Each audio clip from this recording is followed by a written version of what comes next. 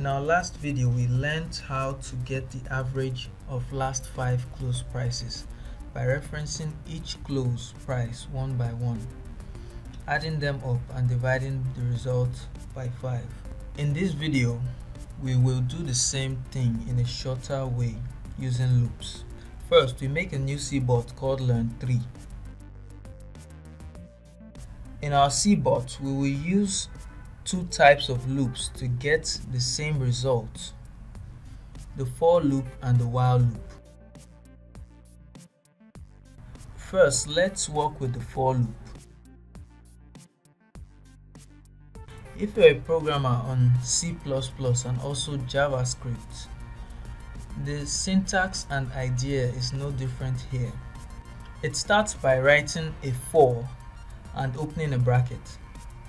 Within the bracket, you declare an integer which will either be a start or an end point. Here we're counting from 1 to 5, so our integer will be our start point. And next, we write our condition for iteration.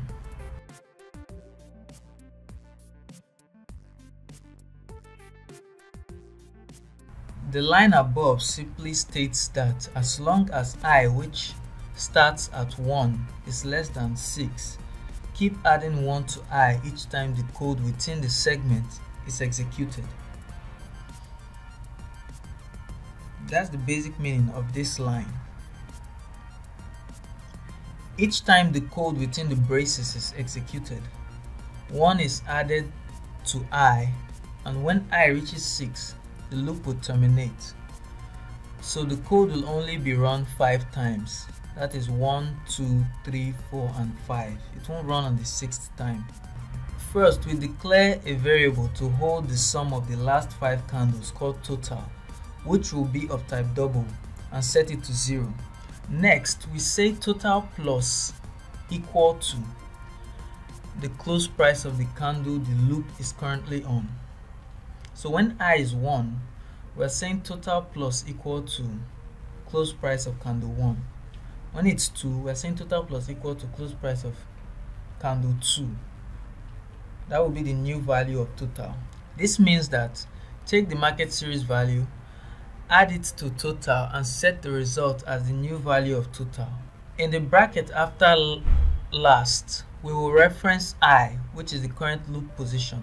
So when loop is at 1 we store close price of candle 1 same for candle 2 3 to 5 and the value of total continuously receives new close prices and adds it to its previous value. After getting total, we want to print total divided by 5 to our CBOT log. This will be our average gotten from the for loop.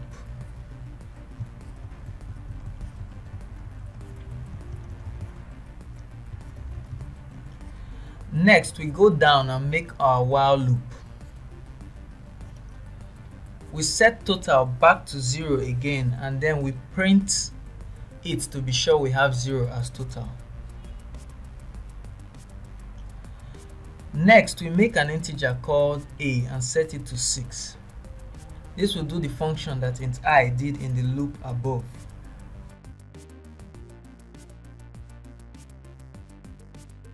Now we say while or let's start a as 1 while a is less than 6 you can copy the code for total and reference a in place of i.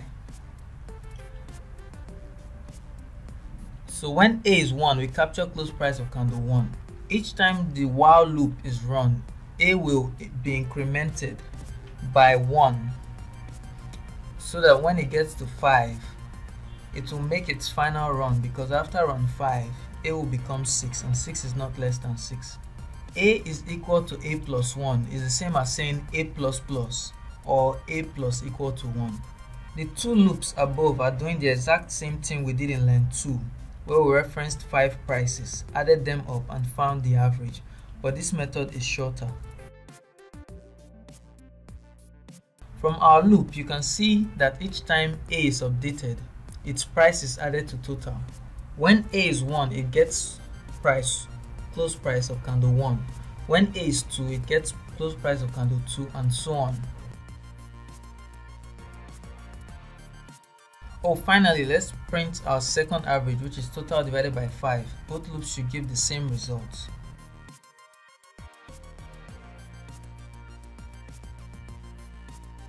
Now moving to chart.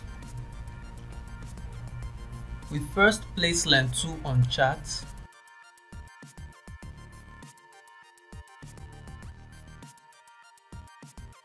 We click run for Learn 2 and we see the average for previous CBOT that we made in our last lesson. If we also run Learn 3, we will see that we get the same average from the two loops we created. It was run first with the for loop set back to 0 and then run by the while loop which also gave the same result. We can also print strings to our CBOT log to label our results and make them easy to understand. After writing a string which you enclose in double quotes, you must separate with a comma.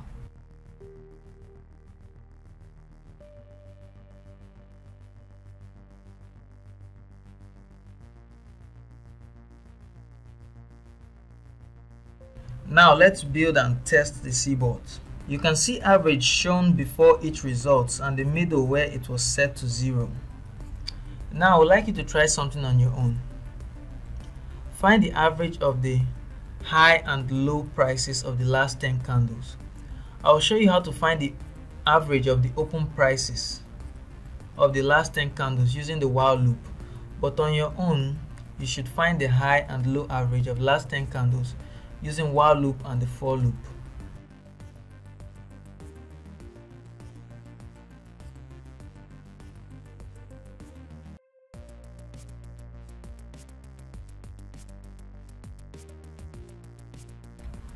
You can simply copy the while loop code, change the divisor for the average to 10 instead of 5. Let me also update my string to say average open price of last 10 candles. In market series, we reference open instead of close.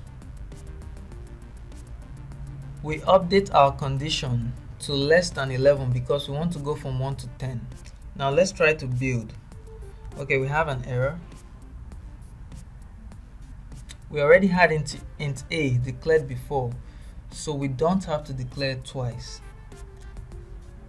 But we have to set a to 0 so A can start over after previously reaching 5.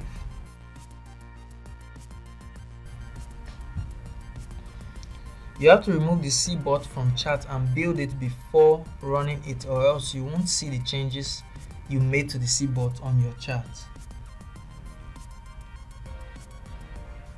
Now you should be able to write for the last 10 high and low averages using the for and while loop. See you in the next lesson.